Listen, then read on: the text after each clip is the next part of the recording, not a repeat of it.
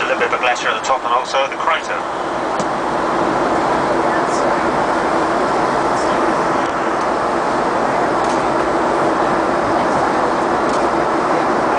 If there are people up Yes, there. folks.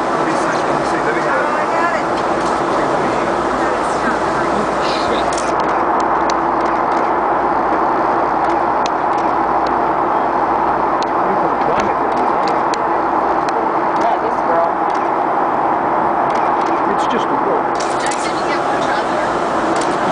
Crater, just this. I'll say, I'll say. Just a circle of the crater and you get it. Blocking the whole thing. Isn't it?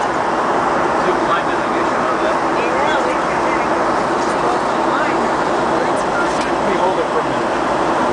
It's amazed he did it.